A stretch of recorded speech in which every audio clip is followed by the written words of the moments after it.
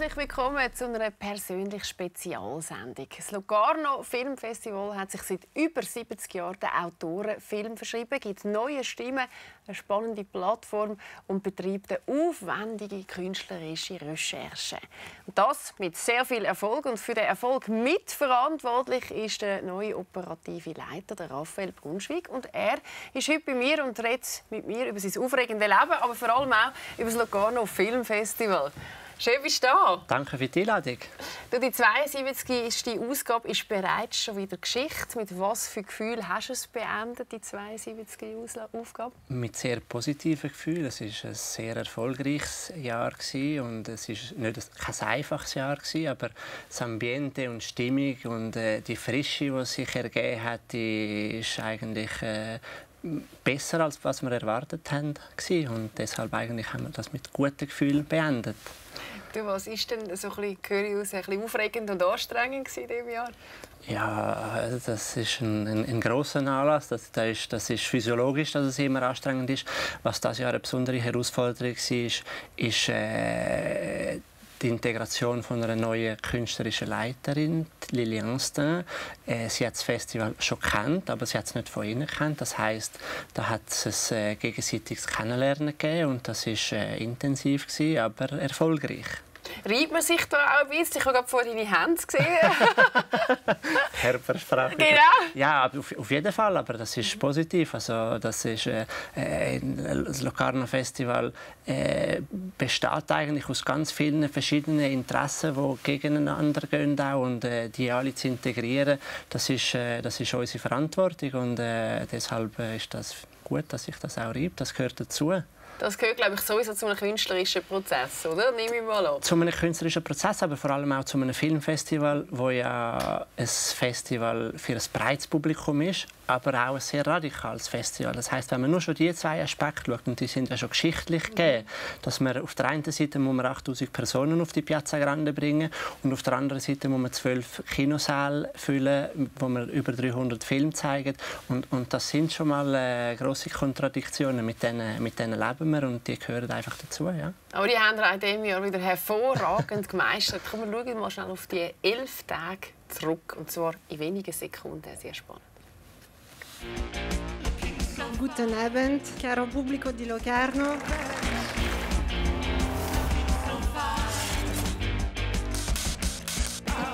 Ciao.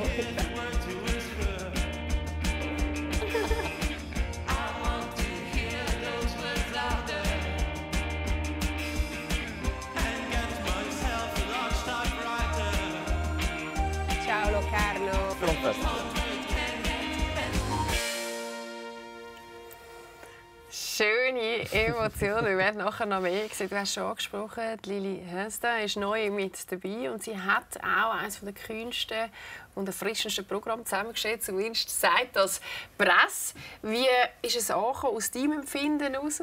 Genau so. Also wir sind, äh, es hat wirklich wie einen frischen Wind in Locarno und von dem haben wir alle auf allen Ebenen profitiert. Mhm. Sie hat jetzt auch ein bisschen auf andere Pfeiler gesetzt, zum Beispiel auf die jungen Filmemacher oder die sehr erfahrenen Regisseure, die wiederum aber auch ein bisschen experimentelle Werke äh, präsentiert haben. Ist es die Mischung, die jetzt du gefunden hast, ist das gewisse etwas von der 72. Ausgabe? Das sicher, obwohl das gehört ja eigentlich schon zum Teil zur Geschichte von Locarno, aber wie man dann mit dem umgeht, wie man das präsentiert, das, da, da hat ihr Stil äh, doch etwas Erfrischendes, äh, was es vorher in Locarno so noch nicht gegeben hat. Das heißt, das ist eine Alchemie, die aus verschiedenen Elementen besteht, aber äh, der, der kuratorische Teil, den sie äh, gemeistert hat, ist sicher ein wichtiger Teil davon. Was ist denn dein persönliches Highlight gewesen? Oh, das ist, das, ist, das ist eine gute Frage. Ich denke, ich, ich bin auch für, nicht für den Inhalt zuständig. Und mein persönliches Highlight ist eigentlich wie die Stärke von unserem Team das Jahr. Weil hinter einem Festival sind ja immer Personen. Das Jahr sind wir 900 Personen. Gewesen. Wenn ich schaue, wo die Leute stehen, die das Festival eigentlich machen, also die, die, die, die, die Verantwortlichen von den verschiedenen Sektoren, die wir haben, oder Departemente, die, die sind in einem, die, die sind in einem super Moment zwischen der Erfahrung, Motivation, Kompetenzen und mit einem Team an diesen Punkt zu kommen, das ist etwas, auf das, äh, auf das können wir wirklich stolz sein. Du bist seit letztem Herbst operativer Leiter, 2013 eingestiegen beim Locarno Film Festival. Ja. Was macht für dich eigentlich der Reiz aus von dem Festival? Das ist auch eine sehr spannende Frage. Ja, äh, dass es ein Festival ist, wo man eigentlich was ist was ist das Locarno Filmfestival überhaupt? Es ist ein Filmfestival, es ist ein Festival mit, mit für, für, das breite Publikum auf der Piazza Grande oder für ein breiteres Publikum. Es ist aber auch ein sehr mutiges Festival in der Kinosaal, wo wir doch jedes Jahr etwa nur 100'000 Zuschauer haben. Es ist aber auch eine Plattform für, äh, Film, für Personen, die kommen, Filmbusiness machen, also Film kaufen, verkaufen. Für die Presse, fast 1000 Journalisten jedes Jahr in Locarno. Es ist aber auch eine Plattform für Jugendliche mit äh, Bildungsaktivitäten, äh, mit neuen Projekten, äh, die wir das Jahr eingeführt haben. Du sprichst das Basecamp an, oder? G genau, genau. Kannst du etwas dazu erzählen? Was ist das genau und wie happy sind ihr mit dem Ergebnis? Das Basecamp, das ist eigentlich es ist ein Experiment, gewesen, wo wir versucht haben, äh, junge, urbane Zielgruppen, die sich Locarno nicht leisten kann während, während dem Festival, also die sich die, die Hotelkosten nicht leisten können, nach Locarno zu bringen. Und die Idee war, dass sie äh, am Festival teilhaben können. 200 Jugendliche, äh, 70% aus der Schweiz, 30% aus dem Ausland. Und äh, dass sie aber auch das Festival bereichern mit ihrer Kreativität. Das heißt, wir haben nicht nur junge Filmschaffende äh, eingeladen, wir haben auch äh, DJs eingeladen, wir haben äh, junge Architekten eingeladen, wir haben äh, alles Mögliche eingeladen und die haben dann wirklich auch äh, zum Erfolg von dieser Ausgabe beitragen. Genau. Mhm. Wahrscheinlich auch sehr, sehr spannende Begegnungen. G genau, genau. Und, eben, und, und all die Elemente zusammen, die machen eigentlich den, den Reiz vom Festival aus. Und da hat es jetzt noch verschiedene mehr, aber eben das Festival, das besteht eigentlich aus ganz vielen Festivals zusammen. Als du 18 warst, hat wahrscheinlich niemand daran gedacht, dass du irgendwann einmal operativer Leiter vom Locarno Filmfestival wirst. Lass uns mal schnell eintauchen in deine Geschichte, weil du hast eine ganz spannende Geschichte. Passt irgendwie auch zum Locarno Filmfestival.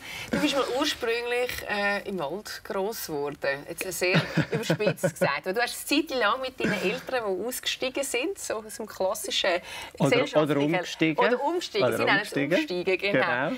Wie ist es dazu gekommen und was ist das mit dem Waldleben? Ja, meine Eltern sind beides Zürcher und die haben aus verschiedenen privaten Gründen haben sie das für richtig empfunden, dass sie ein äh, Leben außerhalb der Gesellschaft führen oder zumindest teilweise außerhalb der Gesellschaft und dann hat sich das so ergeben, dass nach meiner Geburt in, in Zürich, dass wir dann sofort ins Tessin gezogen sind und dann bin ich tatsächlich in einem, in einem Wald aufgewachsen. Und, äh, Natürlich Häuschen, also dort haben sie das genau, genau, das Rustika ausgebaut genau. Du, als Kind findet man das wahrscheinlich die ersten sieben Jahre noch lässig. Idyllisch. Idyllisch? Idyllisch, ja. Was hast du mitgenommen aus dieser Zeit? Ja, ich glaube, wie jeder im Idealfall äh, nimmt man eine gewisse existenzielle Sicherheit mit, die einem dann das ganze Leben lang begleitet und wahrscheinlich auch einen Kontakt zur Natur, wo ich verloren habe, aber wo ich weiss, der wird dann irgendwann wieder eine wichtige Rolle spielen. Mhm. Das gibt uns ja ein bisschen Boden, oder? Die Natur. Das kann man gut brauchen, wenn man operativer Leiter ist. Das kann man gut brauchen, vor allem wenn man immer so ein bisschen in der, in der, im Kopf oder in den Intuitionen ist. Das kann man, dann kann man das brauchen. Genau. genau, du hast ja glaube ich eh einen guten Boden, wenn du ja auch meditieren. Aber das reden wir noch. Zuerst will ich schnell fragen, ich meine, es war jetzt auch nicht so, gewesen, dass du super easy Pubertät gehabt hast, oder? du bist ja sehr destruktiv unterwegs gewesen. Was heisst das? Ja, das kann man schon so sagen. Also, kann, was, was, ich dazu sagen kann, ist, ich habe von 18, 19 bin ich mindestens 7, 8 Jahre 19 gewesen. Genau. Und habe dann... Hast du nicht erwachsen werden? Also, das Waldfeeling mitnehmen? Ja, das ist nicht das. Das ist dann mehr so ein, ein, sich wiederfinden müssen in einem bürgerlichen Leben und ein bisschen das Epatelle Bourgeois schauen, wo die Grenzen sind und vor allem ja, auch Material sammeln für ein Coming-of-Age-Buch, das man dann vielleicht in einem zweiten Teil des Lebens noch schreiben könnte. Das hast du auch schon gewusst mit 18? Das, also, dem habe ich schon geschrieben, genau. Also, das kommt dann irgendwann einmal im Idealfall. Fall. Wie haben denn deine Eltern das damals gefunden? Ja, ähm, sicher ist sicher nicht einfach gewesen, aber sie haben immer Vertrauen in mich und äh, das hat mich dann auch immer äh, gestärkt und äh, ja, sie haben das, sie haben das müssen akzeptieren. Also da hat man keine große Wahl. Das ist schon fast filmreif. Können wir auch mal irgendwann so eine Premiere machen am Locarno Filmfestival. Du, 2013 bist du dann doch in eine ganz seriöse Karriere eingebogen. Wie ist es denn zu dem gekommen, dass du zum Locarno Filmfestival gefunden hast? Ich war gut befreundet mit dem Onkel vom damaligen werdenden operativen Leiter und der hat ein bisschen meinen, meinen damaligen Wandel miterlebt und hat dann äh, Mario Timbal heißt er, hat er dann gesagt, du, den kannst jetzt dann langsam brauchen. Also den kann man jetzt dann, äh, den, kannst du brauchen, genau. Und dann ist es eigentlich äh, relativ schnell hat sich herausgestellt, dass ich einfach im richtigen Moment am richtigen Ort war. Also es hat mit meinen Vorgesetzten sehr gut funktioniert und vor allem auch mit dem Marco Solari. Und dann ist das relativ schnell gegangen. Mhm. Und die Liebe ist ja dann auch gerade so zack, bang da. Eine wunderschöne Frau. Genau. Wo hast du sie kennengelernt? Sie habe ich kennengelernt. Wir hätten sie eigentlich einstellen als Präsentatorin für Piazza Grande. Sie hat das damals abgelehnt und ich habe sie nur wegen dem, also das, das, das Gespräch mit ihr habe nicht ich geführt und dann habe ich sie aber getroffen an einem Anlass, wo sie moderiert hat und äh, ich habe eigentlich sofort gewusst, äh, die möchte ich heiraten. Ah, wirklich? Einmal gesehen und dann... Nein, nicht ein, einmal, zweimal geredet, aber wirklich gewusst, das ist jetzt... Äh, und ich weiß noch, und sie hat das auch gewusst? Nein, sie hat es nicht gewusst. Und ich ah. weiß, ich habe dann eine Zeit lang gewartet mit dem Sagen. Und ich weiß noch, wenn ich, ich bin sie dann besuchen in Zermatt und, und äh, Mario Timbal, der auch mein bester Freund war damals, hat mir gesagt, das sagst du jetzt nicht, das sagst du jetzt nicht, das kannst du nicht sagen an meinem ersten Date, wo sie noch nicht mal weiß, dass es ein Date ist.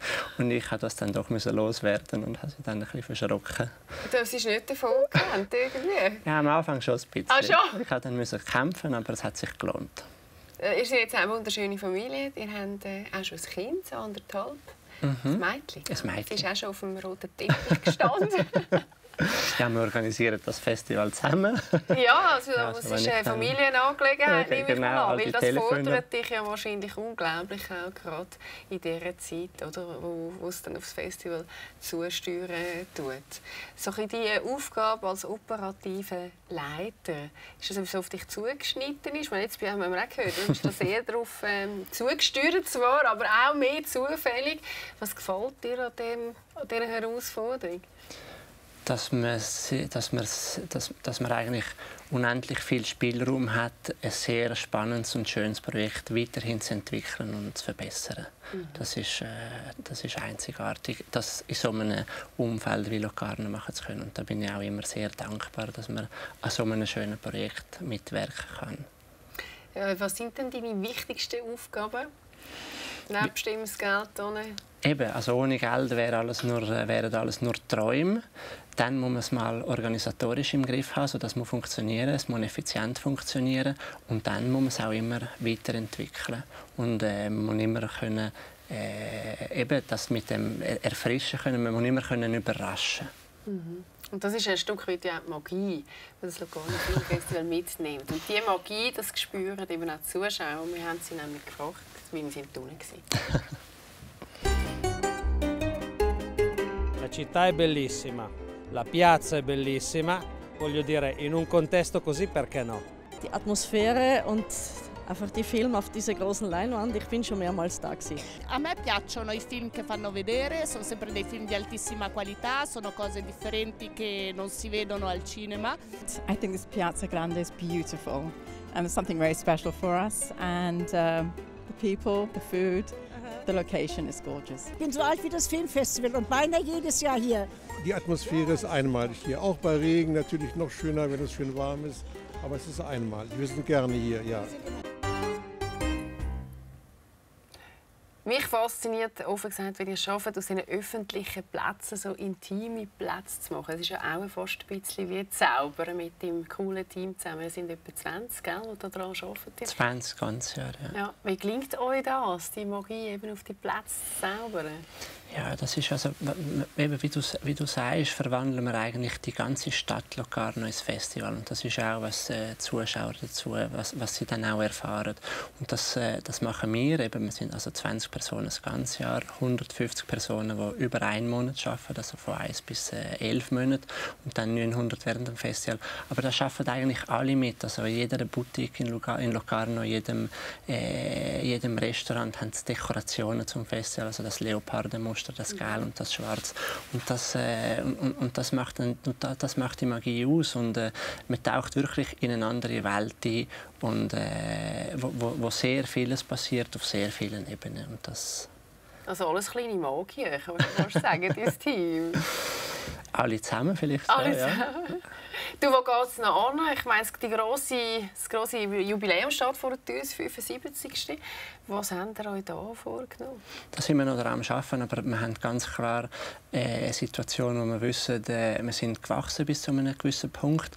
Wie, wie kann man jetzt weiter wachsen? Wie kann man äh, die Möglichkeiten von der Digitalisierung einspielen lassen, indem dass man nicht nur ein besseres Erlebnis erschafft, sondern auch, dass man den Brand Locarno, der ja weltweit für ein sinneviels Publikum eine starke Bedeutung hat, auch spürbar während dem Jahr macht. Und da haben wir schon erste Beispiele, also zum, wenn wir zum Beispiel anschauen, was wir mit Swisscom das Jahr geschafft haben, auf, äh, auf, auf Swisscom TV, wo wir eine Rubrik zum Festival aufgeschaltet haben, wo wir äh, kuratierte Inhalte von uns, präsentierte Inhalte von uns zusammen mit Swisscom haben können präsentieren an ein Publikum, das viel größer ist als die äh, Zehntausende von Personen, die nach Locarno mhm. kommen. Und das ist eigentlich ein, ein, ein erster Schritt ähm, in eine Richtung, wo, wo wir hoffentlich äh, weitergehen können in den nächsten Jahren.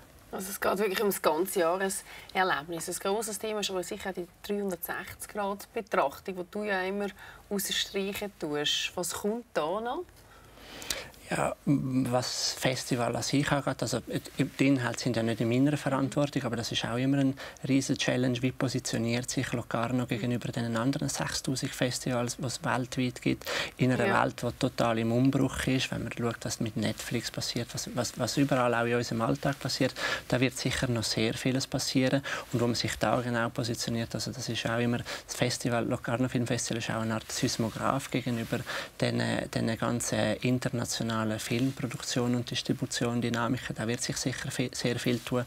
Und äh, was äh, das Erlebnis der Festivalier in Locarno angeht, da werden wir einfach schauen, dass wir das weiterhin verbessern und dass wir auch Magie, also dass wir die Magie auch beibehalten können und dazu gehört auch, sich, dass äh, sich immer erneuern können und, und, und äh, das Ziel mit allen Aktivitäten, die wir während dem Jahr schon machen und weiterhin machen werden, ist eigentlich das, was in diesen elf Tagen passiert, zu stärken. Mhm.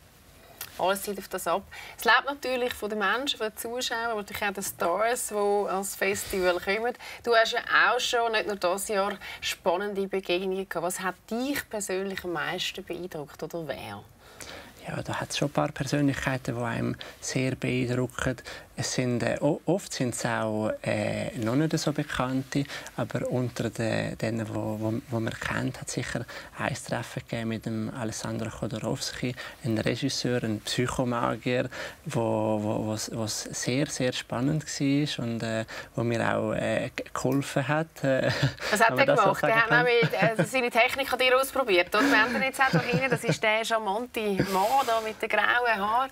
Genau. Er hat Tarot gelegt, ohne Tarotkarte. Genau, das hat er gemacht. Aber vor allem, er macht ja so psychomagische Acts. Und, und, und äh, das kann man vielleicht am besten mit einem Beispiel beschreiben.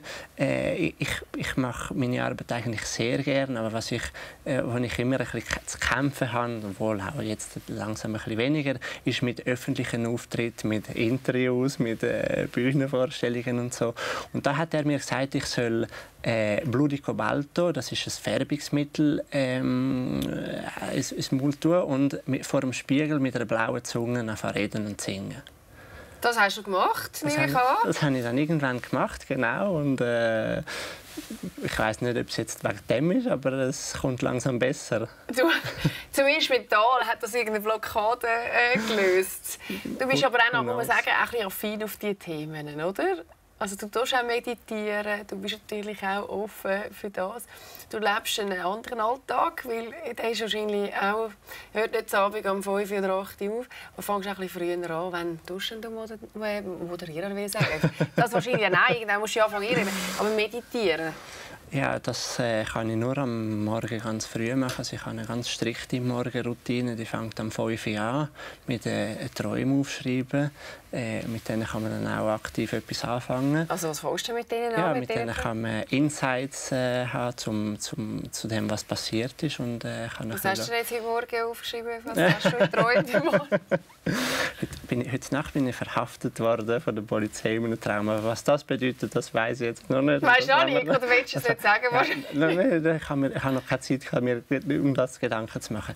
Und, und dann versuche ich, ein Tagebuch zu führen. Und das hilft sehr viel auch bei der, bei der Strukturierung der Gedanken, auch beim Arbeitsalltag. Und dann schaffe ich es tatsächlich, äh, immer noch 20 Minuten zu meditieren jeden Morgen.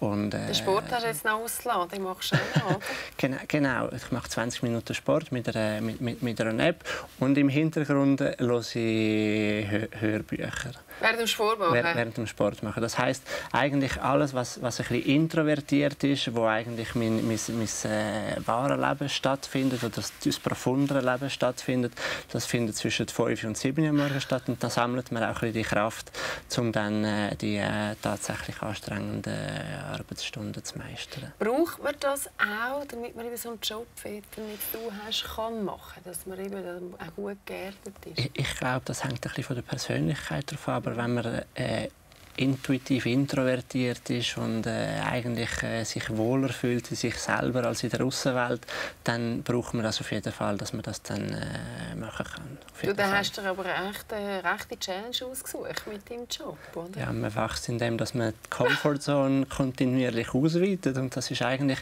was ich äh, seit Beginn von meinem, meiner Arbeit am Festival habe können machen. Äh, war es fast ein bisschen am Limit, gewesen, aber es hat immer funktioniert und ich, ich bin wie gesagt extrem dankbar, weil so viel lernen mit so vielen spannenden Leuten in so wenig, äh, in so kurzen Jahren, das ist wirklich, äh, das, das ist sehr stark und, und eben, da kann man nur dankbar sein. Mhm. Du hast ja über Begegnungen geredet. Zwei spannende Begegnungen hat es sicher bei dir, aber auch mit den Zuschauern die gegeben. Die schauen wir uns mal an, wer denn da war. It's just incredible. I'm I'm so humbled by the fact that I get to travel the world and meet um, all these wonderful fans and uh, of cinema, and uh, you know I am so grateful to all of them for everyone who creates a, a, festival for people to see film and art. I think it's super important, and I love uh, that this festival has been here for so long. It's so esteemed, and so it's really a great honor. Was gefällt Ihnen am Festival? Ja, am Festival die Begegnung mit den Leuten, die Piazza, die Filme, die Vielfalt der Filme, die man hier sehen kann und auch diese sehr starke Möglichkeit, über unsere Welt zu denken, zu diskutieren und das finde ich hervorragend. Ich bin schon auf den Punkt, alle Verse. Es geht wirklich halt eben auch um die Welt und man kann diskutieren. Ich glaube, das schätzen ja irgendwie schon auch ein bisschen die Stars, weil ihr schafft es ja immer wieder, dass die Stars da kommen. Auch Hillary hat das in diesem Interview gesagt, weil sie das einfach auch schön findet und weil es eben ein anderes Festival ist. Genau, und, und die Personen, die das Festival, wo, also das Publikum hat wie eine andere Nähe gegenüber anderen größeren Festivals. Äh, man, kann, man, man, trifft sie sozusagen auf der Straße. Wir haben gerade Stars gesehen. Wie sind denn die normalerweise im Umgang? Ja, das hängt immer von Person zu Person aber wir haben ein gutes Team, das äh, mit ihnen umgehen kann und äh, das, das, äh, das, wir versuchen ja immer, das zu erreichen, dass sie ein unvergessliches Erlebnis in Locarno äh, erleben und dass sie dann auch äh, ihren erweiterten Freundeskreis im Idealfall nach Locarno bringen können in Zukunft.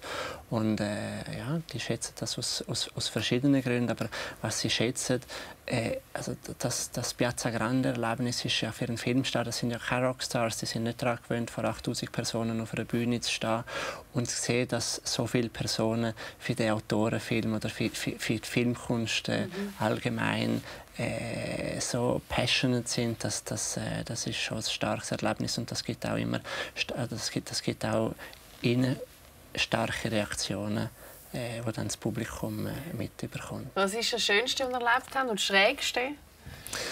Ja, Schrägste...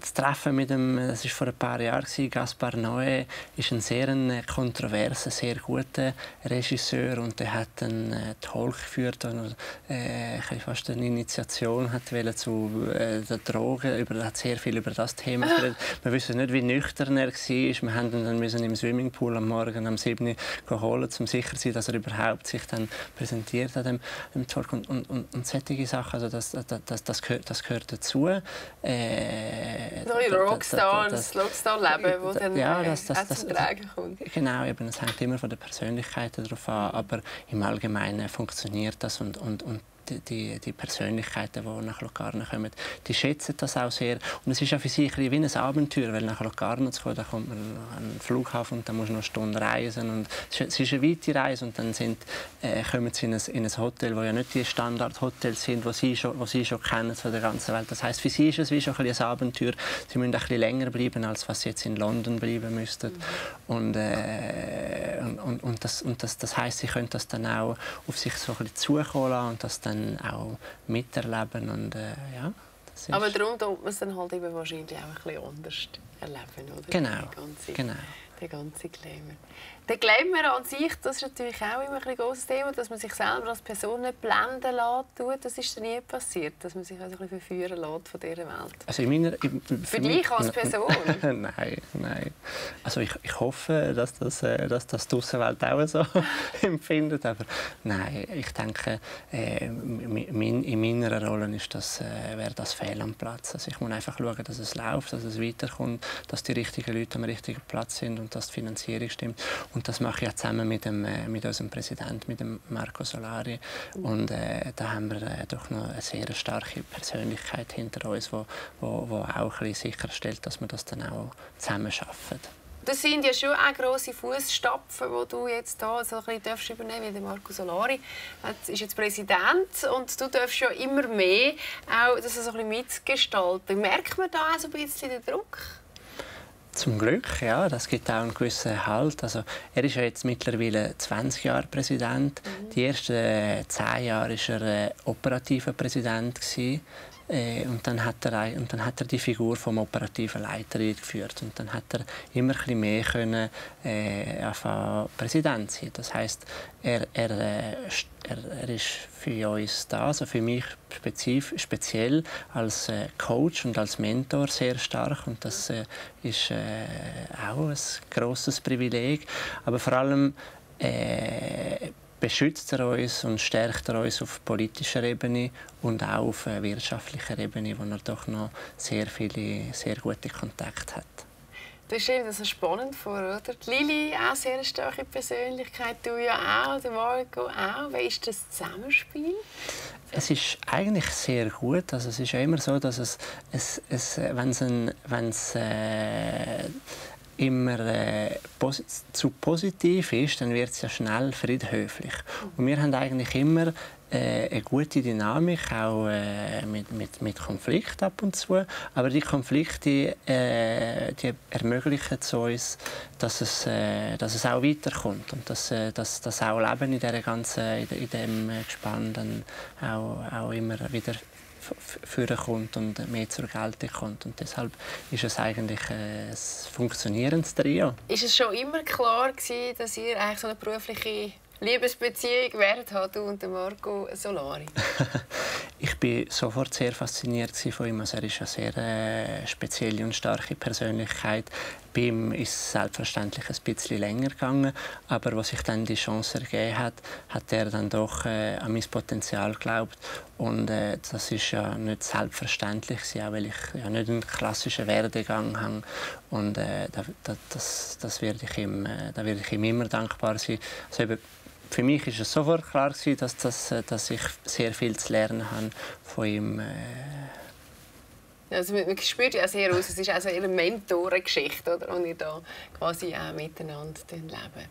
Das Filmfestival ist 1946 entstanden. Äh, wir haben auch ein paar Bilder dazu. Wie siehst du eigentlich so ein die Entwicklung, oder wenn du zurückschaust? Ich meine, jetzt bist du ein paar Jahre mit dabei. Wenn man jetzt schaut, wie es damals losgegangen ist, unter dem, was war es? Ich glaube, ein, ein Oh, Im, im, Im, Grand Hotel in Locarno hat es gestartet, im, im 46 genau. Und Piazza Grande, die ist dann erst im, im, im 71 hat man die dann, äh, ist, man dann, ist man dann zu der gekommen. Also, was, was man zur Entwicklung sagen kann, ist Positionierung als äh, Entdeckungsfestival, als Festival für junge Filmemacher mit einer relativ grossen Weltöffnung ist äh, immer gegeben. Was sich entwickelt hat, ist einfach ist Größe auf jeden Fall. Also wenn man nur schon denkt, was in den letzten 20 Jahren passiert ist, als Marco Solari das Festival übernommen hat, hat es ein Budget von 4 Millionen Franken gehabt, äh, auch noch mit, mit, mit, mit Schulden. Und jetzt sind wir bei, bei 13 Millionen Franken, 15, wenn man noch äh, das Festivaldorf mit einbezieht. Und äh, wir sind in einer, in einer stärkeren Position. Es ist professionalisiert worden. Es ist eigentlich eine relativ große Kulturorganisation geworden. Und äh, das ist dazu mal noch nicht so gewesen. Also wenn man, wenn man denkt, das ist wie ein Familienunternehmen geführt worden früher. Das hat man in vier Monaten teilweise organisiert. Äh, in den 60er Jahren ist sogar einmal ausgefallen aus äh, budgetären Gründen. ja. genau, also da hat sich tatsächlich einiges da. Aber wir haben auch dort gesehen, oder? Marlene Dietrich und alle sind da gewesen, schon damals, wo es jetzt noch nicht die Strukturen gab. Das, das, ist tatsächlich so. Also Locarno ist ja eines der ersten Festivals, was es gegeben hat. Also vor, vor Locarno hat es eigentlich nur Venedig gegeben und Moskau. Moskau hat es aber nur ein Jahr gegeben, im 35. Da hat man dann äh, den Walt Disney prämiert und das ist äh, nicht gut da, damals in der Sowjetunion. Die zweite Ausgabe ist dann glaube ich im 55 und, äh, und, und dann ist ganz gegründet worden im 39, hat aber äh, ähm, wegen dem Krieg auch erst im 46 das erste Mal stattgefunden.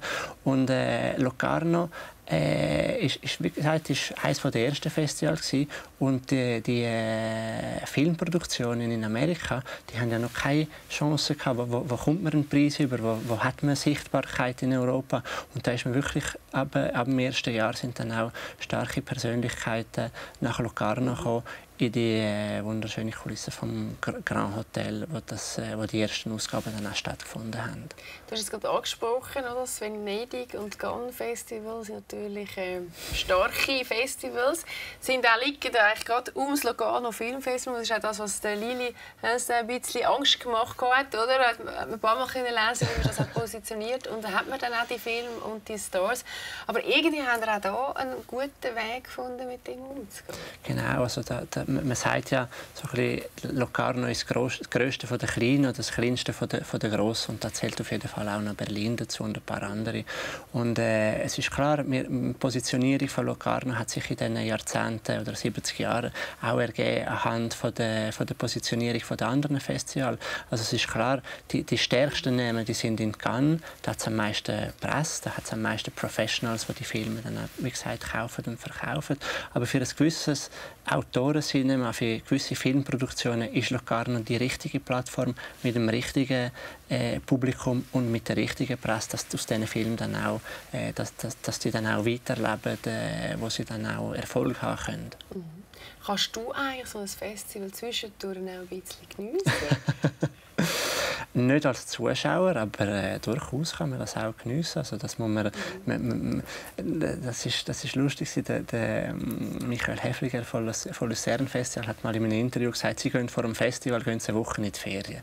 Dass sie dann auch relaxed all ihre Gäste willkommen heißen können. Und ah! wir sind leider nicht so weit. Wir sind alle gerade im Punkt. Du, mit Nein, 20 Mitarbeitern mehr kommt das natürlich auch noch. Genau, aber es ist schon so, also wir haben ja eine Verantwortung gegenüber all die Personen oder die 150 Partner, wenn man nur schon an die denkt, die uns das ermöglichen, äh, finanziell das zu machen, was wir machen.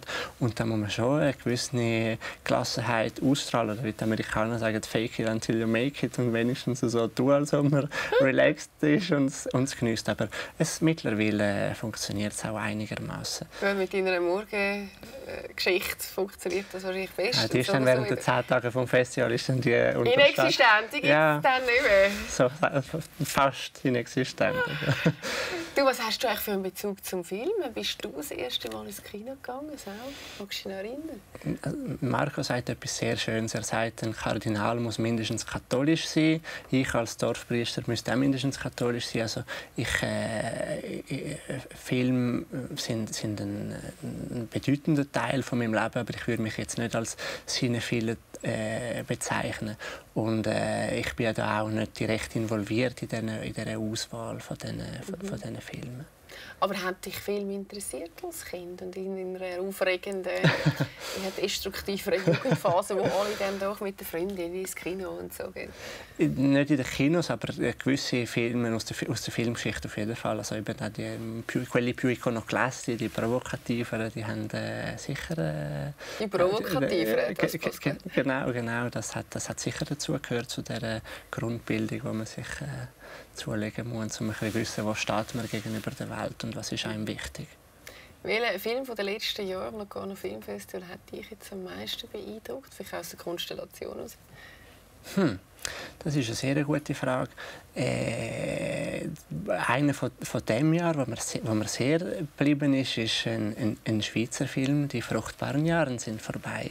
Wirklich? Ja, weil äh, er hat, das, er hat so eine direkt freche, sehr starke äh, Ästhetik oder Art, wie er, sich, wie wie er gespielt wird und geht doch ein, ein Thema, das für mich jetzt nicht so relevant ist, aber wo, wo ich mich jetzt, also ich möchte nicht eine 35-jährige Frau sein, die sich noch diese Fragen stellt und den Film dann anschauen muss, aber ich finde, da, kann man wirklich, da sieht man wirklich, wie man eigentlich mit Filmen sehr viel auswirken kann und sehr viel sagen kann und, und, und, und da gibt es jetzt wirklich sehr viele Beispiele, also wir zeigen ja äh, jedes Jahr, wie gesagt, 300 Filme und der Großteil von diesen Filmen, die sieht man wirklich nur an den Festivals. Das heißt, mhm. man muss eigentlich nur ein bisschen Neugier mitbringen, um in Geschichten eintauchen von Menschen über andere Menschen, wo man sonst nicht sieht. Und ich denke, das ist in unserer Gesellschaft, vor allem, wo wir, wo wir ja alle ein das Gleiche sehen, wenn wir auf Netflix denken, jetzt haben wir diese Serie haben wir jetzt gerade entdeckt, aber 200 Millionen andere Personen haben wahrscheinlich in der Woche vorher das Gleiche gesagt, ist das, ist das doch etwas sehr Wichtiges, zum, zum äh, wissen, wo, wo, stehen wir und, und, und was, ist, äh, was, was sind so die Elemente im Zeitgeist, wo, wo die künstlerischen Sensibilitäten gerade bewegen. Du hast mich sehr lustig gemacht. Das nächste Jahr sind wir alle auch wieder mit dabei. Wir haben das auch sehr ausgiebig begleitet mit Specials und Swisscom TV-Dossiers und auf der Da sind wir sehr dankbar. Das ist toll und macht auch viel Spass. Es ist ein tolles Festival und du bist ein toller Mensch. Danke vielmals, bist du da gewesen. Danke dir. Und bei uns geht es natürlich nächste Woche dann wieder mit einer normalen Person. Dann ist Patricia Boser bei uns. Unbedingt reinschauen. Bis dahin wünsche ich euch eine gute Zeit. Habt euch Sorge. Tschüss zusammen.